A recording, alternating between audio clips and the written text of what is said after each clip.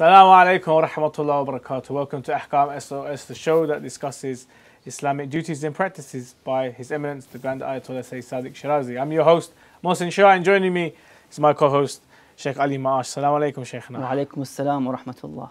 Sheikhna, we were discussing last time on tayammum, um, you know, the methods of tayammum. Um, you mentioned that there's different materials that we can do tayammum on. Can you just go through them for us, please?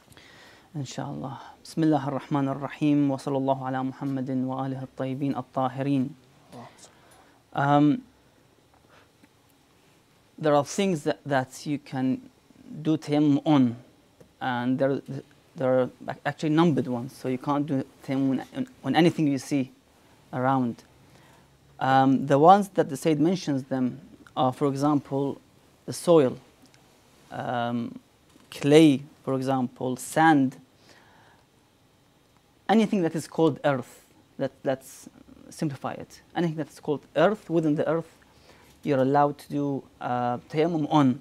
Also, he brings also examples like, like pebbles, uh, rocks, and even limestone. So all these you can actually do, do tayammum on and use them for uh, the purpose of tayammum, which is badal and instead of wudu. And then you can uh, begin your salah or, or anything that requires wudu, wajib. Sheikh, I see you have a lovely uh, ring on, on your finger, uh, an aqiq. This is also a stone. Can one perform tayammum on the aqiq? Uh, thank you. Basically, you cannot do tayammum on stones like the aqiq. Um, the only ones you can do is the one, as I've mentioned, like rocks and pe- pebbles and, and limestones. Um, no, of course, you can't do on the aqiq and such like. Okay, Sheikh, now what about if the surface I want to perform tayammum on, piece of clay or soil, sand, what if there's some najasa on it, or if it's, na- if it's najis, am I still permitted to perform tayammum on this? Again, the same conditions that uh, we spoke about with regard to the water to be pure for the wudu and ghusl, the same applies to the tayammum as well. So you have to make sure that um, the the means that you use for the tayammum, be it a clay or a soil or rock or, or pebbles, they're all tahir and pure. So you can do the tayammum on them and uh, become pure uh, for the purpose of salah and, and so forth. So that's a condition. Another condition that you discussed in wudu and even in ghusl was that the water cannot be usurped. What about in tayammum, the, the soil or the earth that we're using? Are we allowed to use them if they're usurped or not? Same thing, again, um, they should be permissible to be used. So you still have to make sure that you get the permission to use that clay or soil or the land of somebody you've just entered and you want to do the uh, with. Because they are all part of the ibadah and worship. And um, the yusuf itself, it's, it's a sin. It's a ghasub itself. The act of ghasub and yusuf is sin. So you have to make sure that you uh, um, stay away from these sinful acts and we avo- avoid using other people's properties unless with permission. Sheikh, now what if I have um, rings on my hands, watches, things that are, you know, like um, obstacles in the way of me performing tayammum? Can I go over the, go over them? You have to make sure when you uh, perform the tayammum, there's nothing on your forehead or on your uh, hands, like uh, let's say a watch covering the wrist or the fingers cover- covered by rings and so forth. You have to remove everything and then you can perform the tayammum um, as pres- prescribed and mentioned. So nothing should be in, in the way of the wiping of the, the place of tayammum. Sheikh, now what if I'm performing tayammum and I mistakenly miss an area? For example, when I was doing my uh, my forehead, I, my, my hands went out like this, so I've missed the middle part. Or when I was wiping my hand, I missed the, the small finger or something like that. Is my tayammum still valid? Not, it's, it's not valid like the wudu, as we mentioned, and the ghusl as well. You have to make sure that it covers the areas which are mandatory, which is the full forehead and both hands. So you have to make sure that everything, everything is covered within that boundary when you're actually performing the tayammum. Is there any mustahabat in tayammum? Mustahab in tayammum is uh, when you actually want to do tayammum, it's mustahab to have some dust picked when you do the tayammum. So Okay. let's let's say you go and do tayammum in dusty places, which is better and, and mustahab. Just to have the feel of, of the tayammum.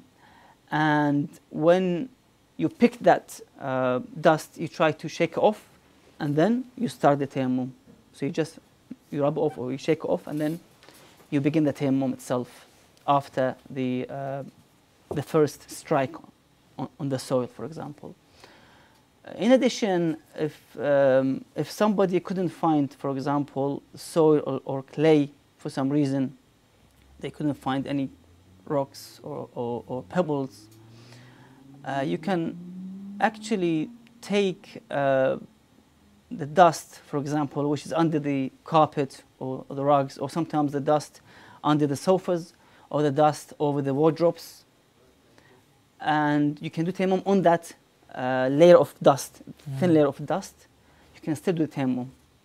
Sheikhna, you mentioned that uh, if you can't find uh, um, surface or earth or sand or clay, marble, um, he should use dust. But what if he's, uh, you know, living in a house with someone, a mother who's OCD, has OCD, and there's no dust in the house whatsoever? What happens there? How, does one perform tayammum?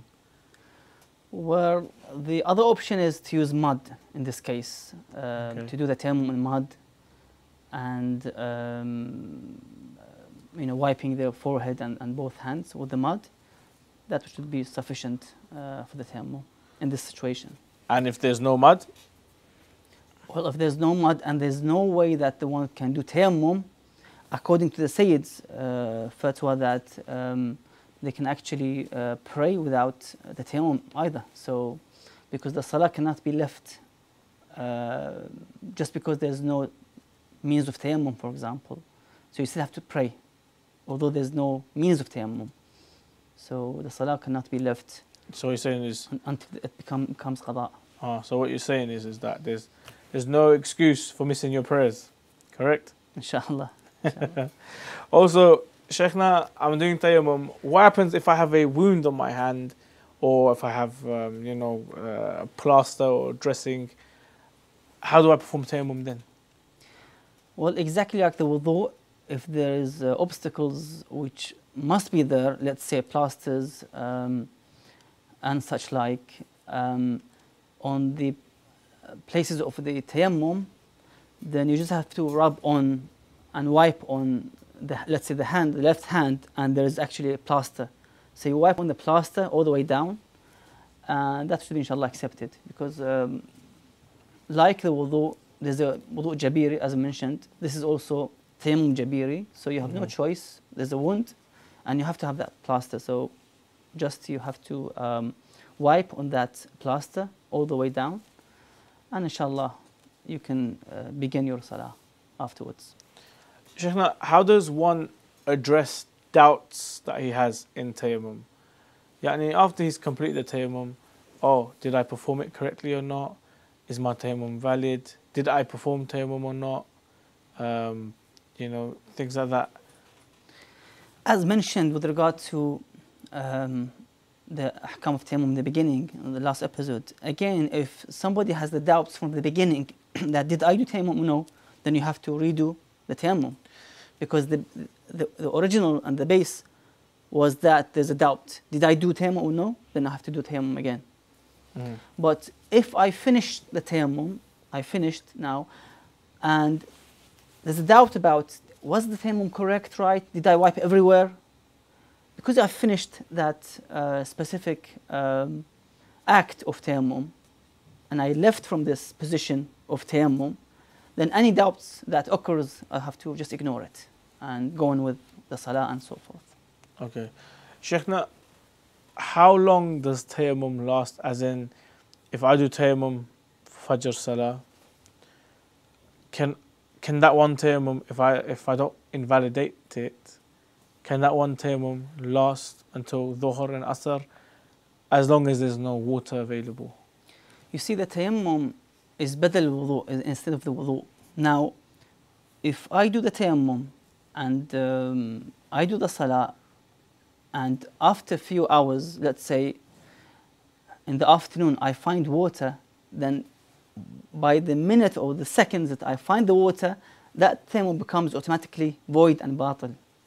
So I have to do, do wudu for the salat al asr.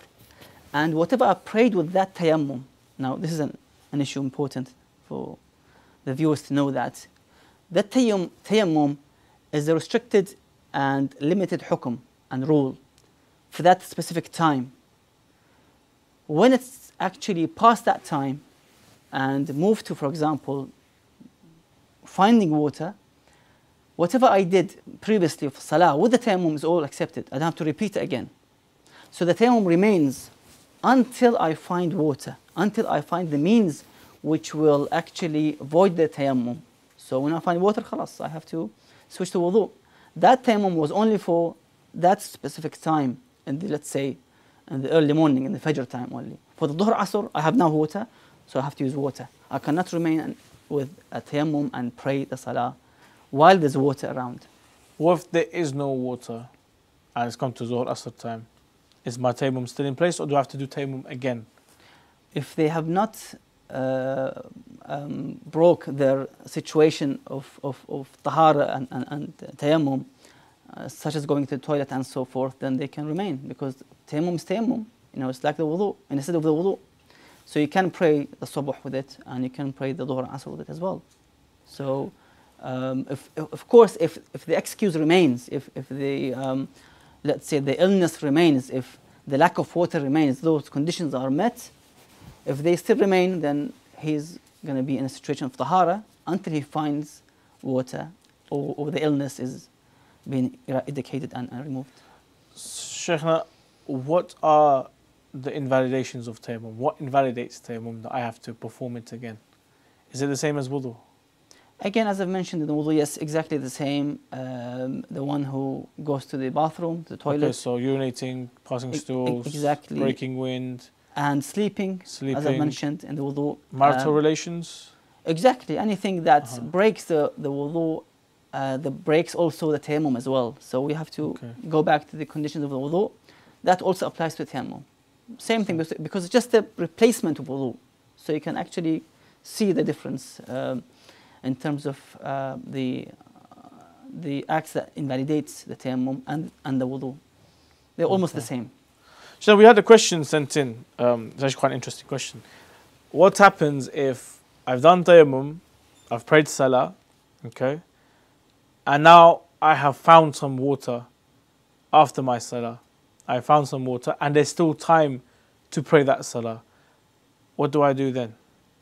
Well, because your situation was that to pray in this state and situation, as I've said, uh, you did your search, you did your best, and you, were, you became hopeless of getting more water uh, for, the, for, the, for the wudu.